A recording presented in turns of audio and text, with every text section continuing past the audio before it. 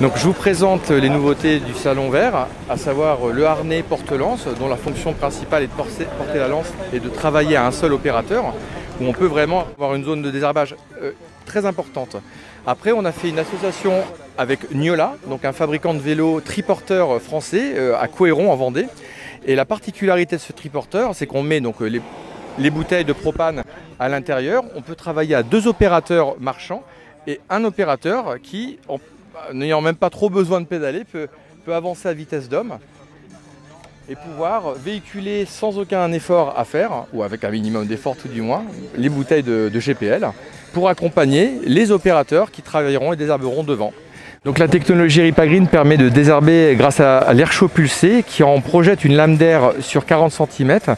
Et avec cette lame d'air, ça permet d'avoir des vitesses d'avancement qui sont extrêmement rapides.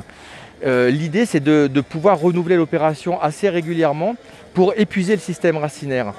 Euh, lorsqu'on épuise le système racinaire, euh, on, arrive à pouvoir éliminer l'adventice après plusieurs passages. Et surtout, l'intérêt, c'est de pouvoir le faire quand la plante est, en, stade plantule, voire petite plante ou en, repousse.